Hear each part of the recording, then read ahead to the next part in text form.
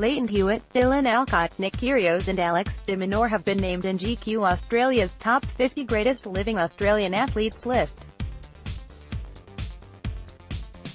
Australian tennis champion Lleyton Hewitt is defined as a living legend. Hewitt was praised for his never-say-die attitude, his trademark gut-wrenching cries of come on, not to mention his backwards cap.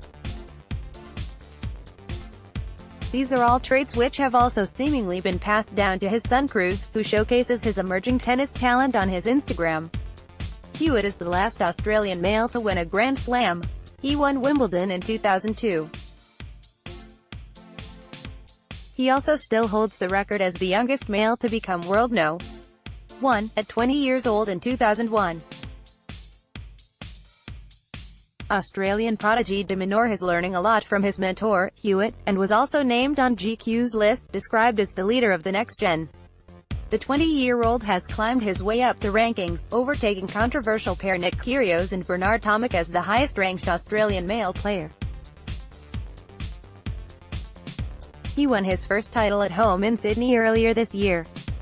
Kyrgios was also named on the list, defined as a current king. The unpredictable Australian is fresh off an incredible run to victory at Acapulco and enters the Indian Wells Masters riding a wave of confidence.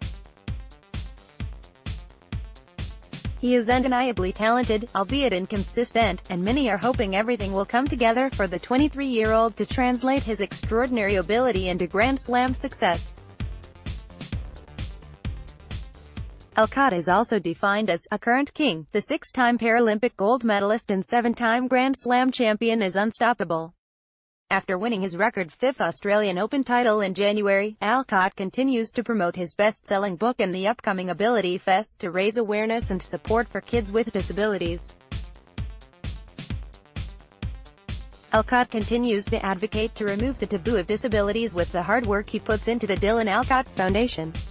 As if that isn't enough, he has also designed his own Nike kicks.